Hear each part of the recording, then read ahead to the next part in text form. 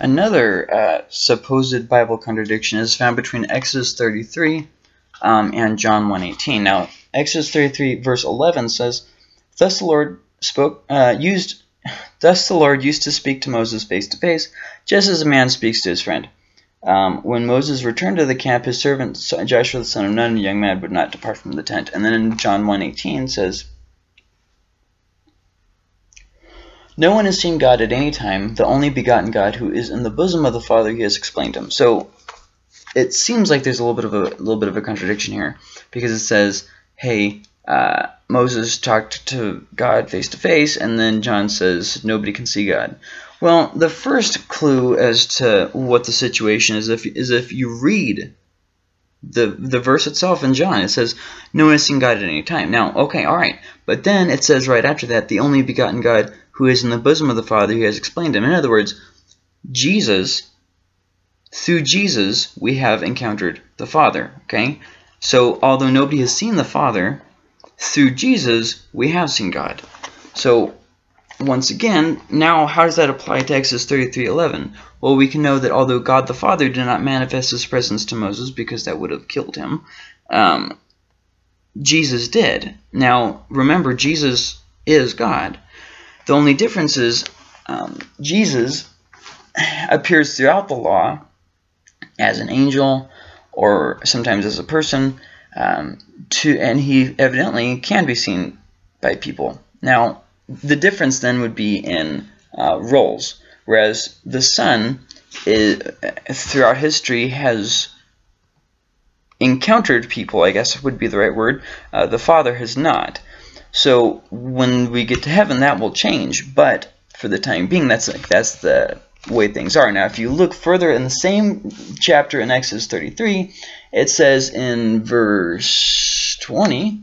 Now remember, this is the same chapter. Now, if they were going to contradict themselves, they they wouldn't have done it in the same chapter. It would have been something that it would have been harder, I mean, easier to overlook. Uh, for instance, in a different book or something like that. So then in Exodus uh, 33, 20, it says, But he said, You cannot see my face, for no man can see me and live. So it sounds like this is contradicting with just a few verses before. But once again, when we take in John, into account John 1.18, where it clearly says that through Jesus the Father has been made known, we can know that, okay, first off, he's talking about difference here, so this points forward to Jesus. Now, I know a lot of people say, well, the, Jesus is in, in the Old Testament.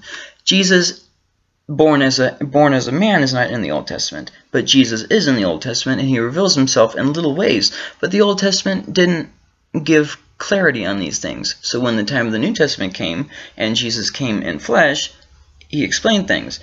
Um, so anyways, but then with that aside, there is still another point here. Um, besides the whole Jesus aspect, Exodus 33:20 is talking about God's full glory. Because even when Jesus made himself known, his glory was, I don't want to know, set aside, maybe is a good word, um, uh, toned down, um, and he became a man. Um, if he were to reveal himself in his full glory to us, we would die.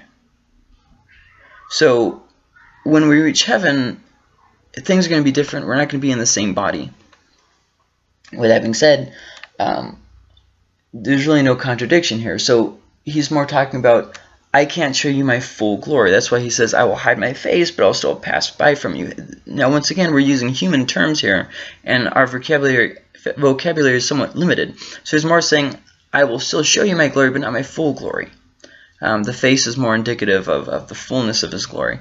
Um, so if you read that verse in its context, especially the verses before it, then Moses said, I pray uh, I pray you show me your glory. And he said, I myself will make all my goodness pass before you, and I will pro proclaim the name of the Lord before you.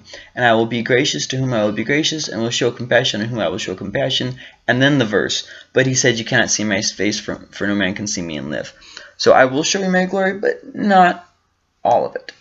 Um, so once again, those are all easily rectified, and once again, no contradiction.